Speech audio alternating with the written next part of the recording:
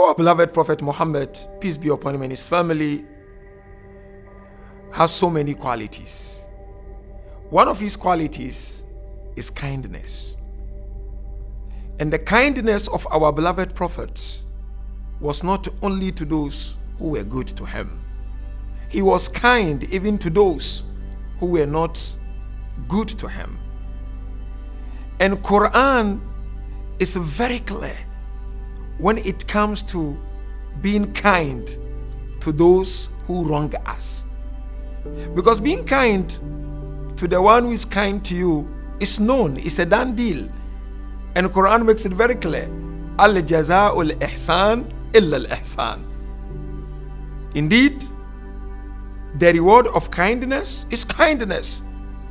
So that is done deal. But kindness to those who wrong us takes a real personality to do that.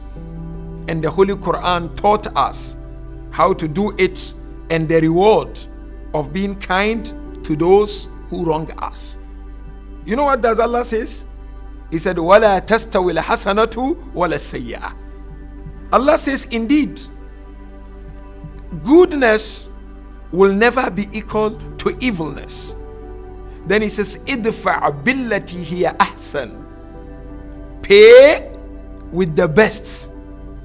Someone wrongs you, someone hurts you, someone offend you as youth on campus or when hanging around and chilling with your friends. Someone step on your toe. Allah says, do not retaliate Idfa billati hiya ahsan. Pay with what is the best. So you know very well, we have a good, we have a better, we have a best. Allah is not saying pay with good. Allah is not saying pay with better. Allah is saying pay with best. And then the ayah continues. فإذا الذي بينك وبينه عداوة كأنه ولي حميم Allah says this is how you should approach the one who wrongs you the one you think there is enmity between the two of you the one who offend you Allah says consider that person your close friend كأنه ولي حميم consider that person your wali your beloved, and not just a beloved, someone so dear to you, someone very close to you. What is the reward?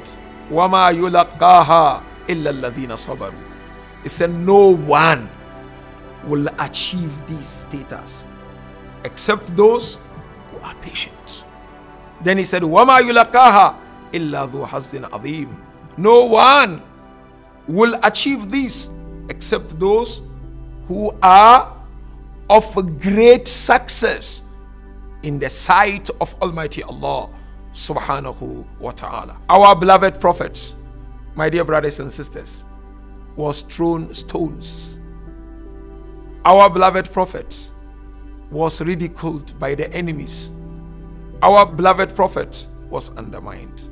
But in return, he was kind to them. In return, he said to them, all of you go. You are free. You are forgiven.